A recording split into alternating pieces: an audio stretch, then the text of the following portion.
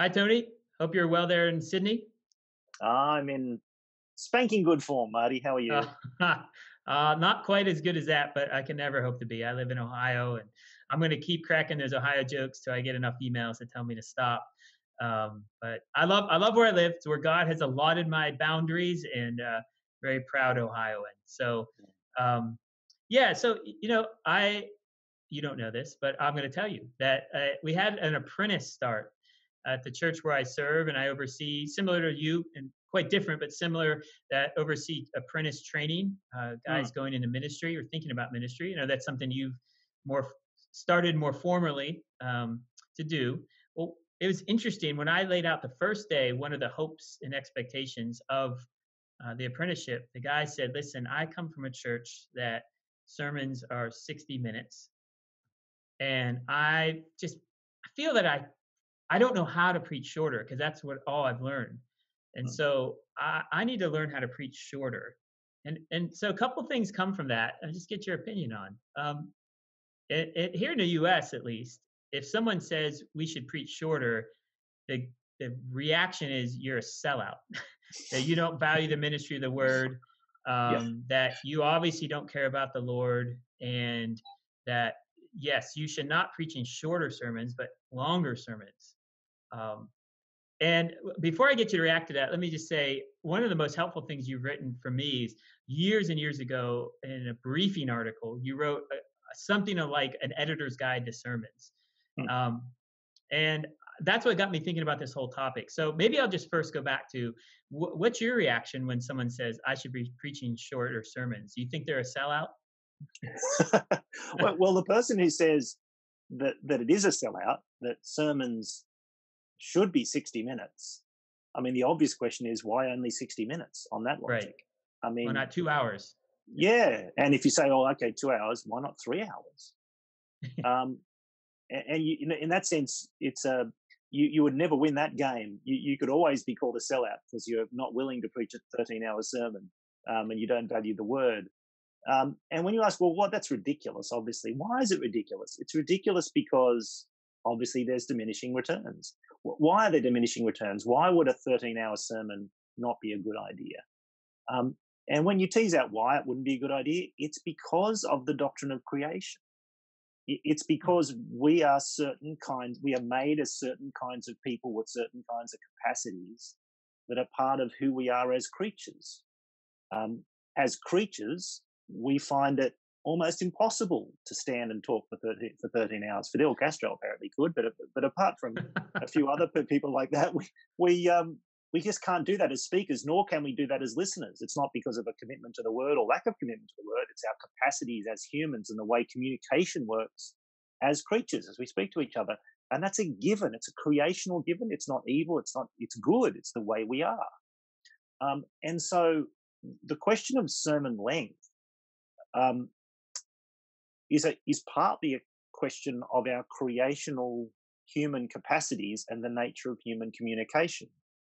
And that's why it's so difficult to come up with a sermon length that is the right sermon length, because in different contexts and in different different um, both the circumstance you find yourself in and the kind of person you are and the kind of person that your congregation people your congregation are there will probably be a, an approximate length of sermon that is the best fit for the kind of creatures you are that God has made you in your context. What I mean by that is, I, I know some preachers who can carry off a 60 minute sermon um, really well. It's compelling, it's uh, they, they carry you right through with you. They achieve what the sermon is meant to achieve, which is to bring the congregation to the word and to steep them in that word and to apply that word to their lives they they carry the congregation with them over that time, uh, and they have the capacities just as a speaker, the gifts that God has given them and that they've developed.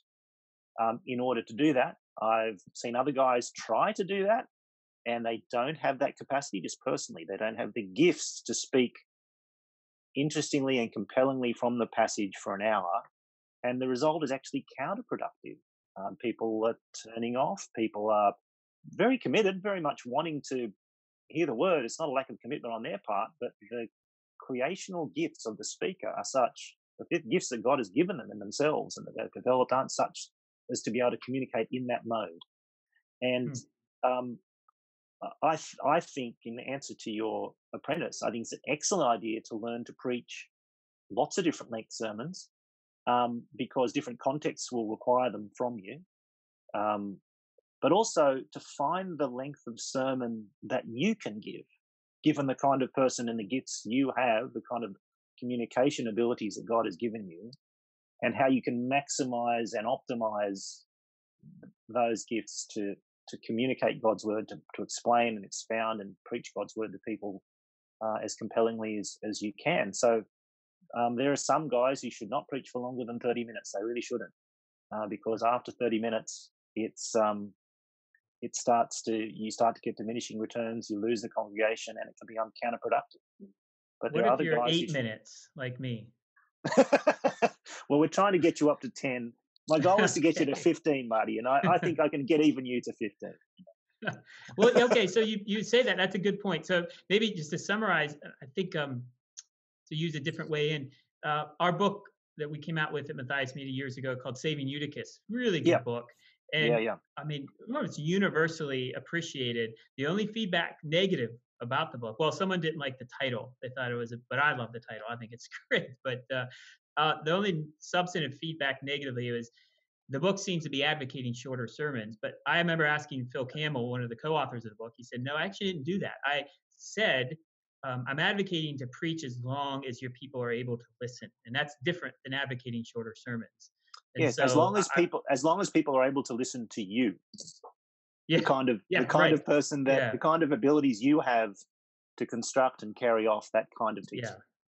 So, so one aspect we'd say find a trusted friend. Often your spouse can be very good at this, but yep. also find a few other trusted friends who not only listen on their behalf, because often you'll find the more mature Christians who are able to listen at the longer end uh, or at the, the, the, the longer side of the spectrum, but ask them to listen on behalf of the person they're bringing to church for the first time or the person who's just been a new Christian or new Christian for a year and try to vet it through those different lenses, so to speak.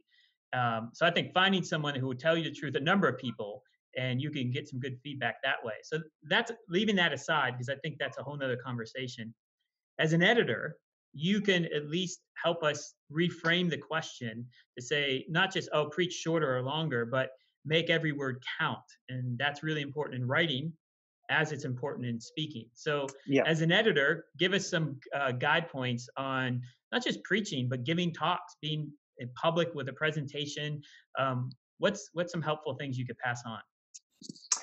Um, it, it, has been, I have to say, it's been something of an occupational hazard for me um, to have worked as a writer and editor um, and to have sat and listened to so many sermons over the years in church and loved listening to sermons. But a slight occupational hazard is I find it very hard not not to get out of editor mode, and I've got to make sure I'm not doing that when I when I listen to sermons because a, a piece of writing and a sermon are, are, are, very similar in that they're both attempting to communicate a message, and they do it in the same kind of way um, to engage and and intrigue the listener at the beginning to get get the listener or reader on board to then lay out and inform and explain and teach the points that you're wanting to make, the argument you're wishing to make, that lands somewhere that makes a difference, that that means something personally. And uh, nearly every form of writing is like that. Nearly every form of written, yeah. written communication is like that as well. So w- one thing that I, I notice as an editor when I'm when I'm editing a piece of work is I look for that sort of structure roughly or something that that achieves that. Um, and um, as I listen to sermons, I sometimes think if I was editing this sermon as an editor, I would say you didn't, you didn't very often you didn't do enough at the beginning to to draw your to take your listeners with you on this journey you're about to go on on this mm. on this through line you're about to go on there wasn't there wasn't you didn't figure out what the sharp kind of tension point was of this passage what what really important or difficult or challenging issue it was raising and helping your congregation to feel the weight of that issue at the beginning so that they want to see how this passage addresses it.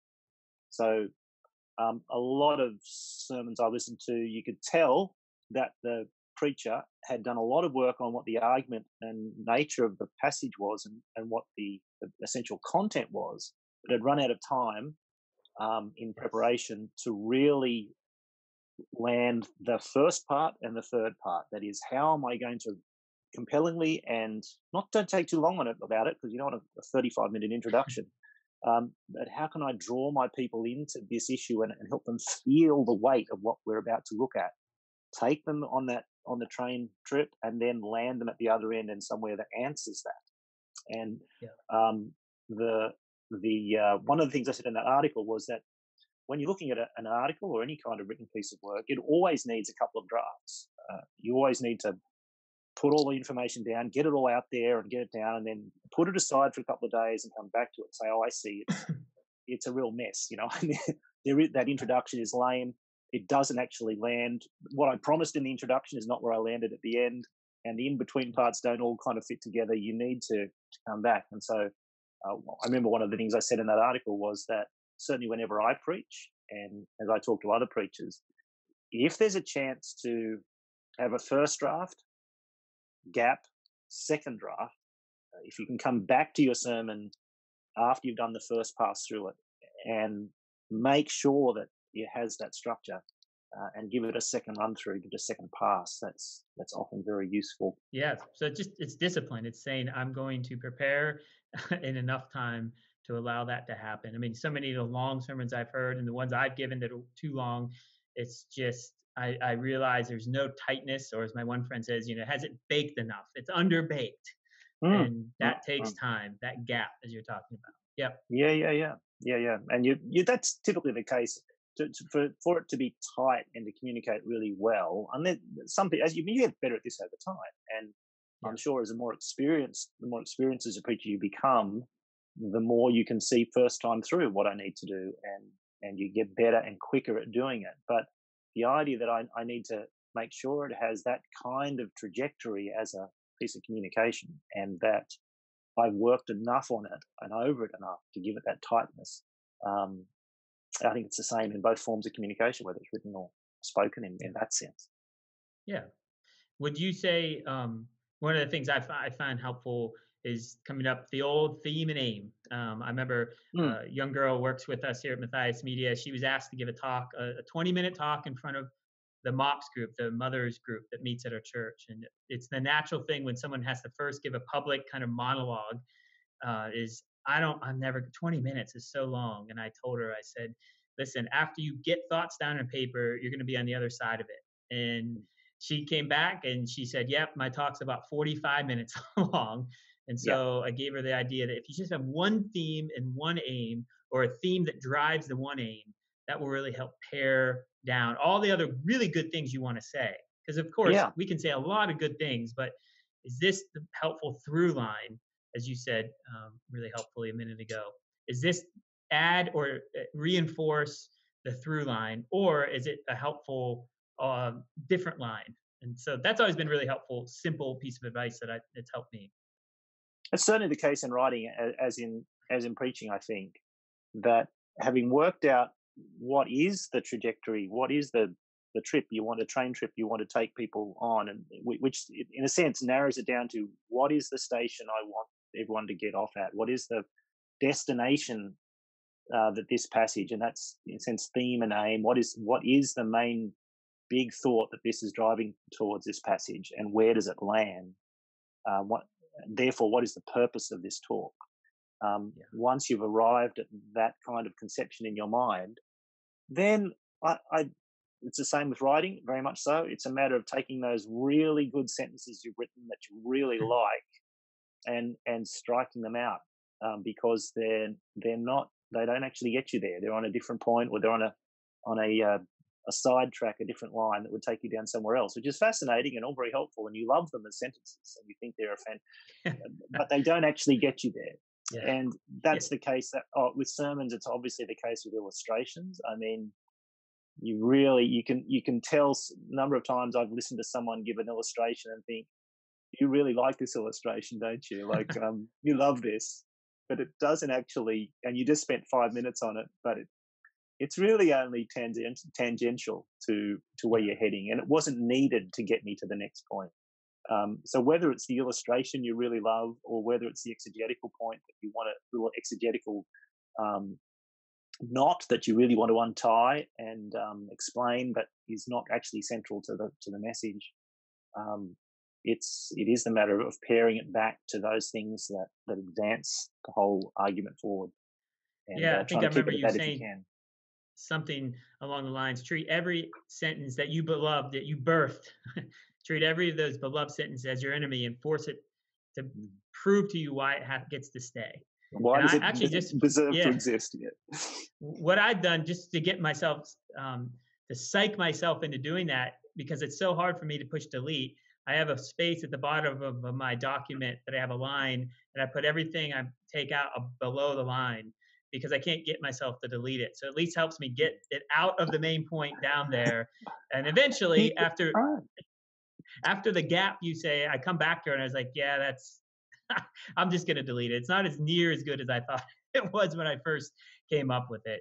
Oh, um, absolutely. So that, no, don't delete yeah. it first off. Yeah, put it in a little separate file that's all my spare stuff, all the extra bits that I might use. I might come back and use that, you say to yourself. Yeah, I there. hardly ever do. I never do.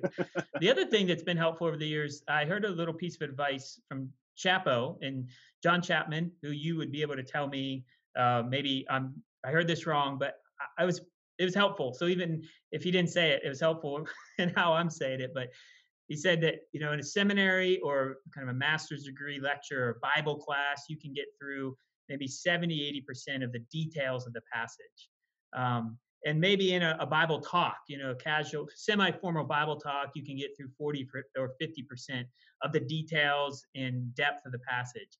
But in a sermon or a talk given for general public consumption you can only get through about 25 30% of the details. And how we want to parse that out for me at least it's been helpful to think through yeah my goal is not to give them download the exegetical analysis i get i learned myself in my study or some novel idea out there but to get through the the, the main theme and aim and the the most important 25% that everyone needs to hear that has served me very well over the years as much as it's mm, anything has mm. served me and um, maybe just lob that out there as some someone might uh, find could, that helpful. Yeah, yeah, but thank you. That is very helpful, Marty, because you're right. We we have to do 100% in the study. We have yes. to we have to go through all the details and, and understand the whole passage and and all the little ins and outs and the exegetical knots and have, have thought about them and worked our way to the point of saying which ones are the sig- really significant issues in, in this one and which ones are ones that we that are interesting and valuable and had we time we dig into all of them